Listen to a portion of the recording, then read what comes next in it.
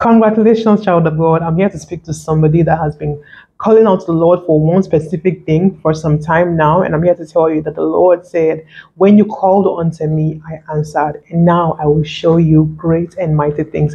Just exactly as his word has said in Jeremiah 33, verse 3 Call unto me, and I will answer you and show you great and mighty things. I want to congratulate you beforehand that your faith will be stirred up even more to believe that Father God is truly coming through. Congratulations, child of God, because the Lord is coming through for you to show you a great and a mighty thing in your life in the mighty name of Jesus Christ of Nazareth. And I want to prophesy over your week, over the next seven days, that you will see wonders wonders in a week in Jesus' mighty name. I pray for you. I connect my faith with your faith for your housing, for your finance, for your health, for, for your provision, for your children, your spouse, the changes you want to see, the turnaround you want to see.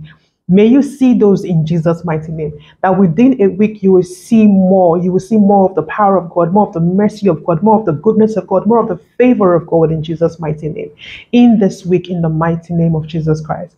And I also want to encourage us all as well that for the next seven days, we're waiting upon the Lord from 6 a.m. to 1 p.m. Let us do this, family. Today, even if you've not fasted today, that is okay. But, but we're going to continue from tomorrow. But if your day has just begun, definitely wait upon the Lord. Wonders in a week is coming in Jesus' mighty name. Wonders in a week in the mighty name of Jesus Christ of Nazareth. Over the next seven days, may the Lord have mercy upon you and favor you. May He favor you and lift you up in Jesus' mighty name. May the Lord heal the sickness and take away the pain and the affliction and the infirmities and bring you a new dawn newness, blessings, healing, turnaround victory in the mighty name of Jesus Christ, provision, surplus, abundance in every area of your life, including in your finance, in Jesus' mighty name.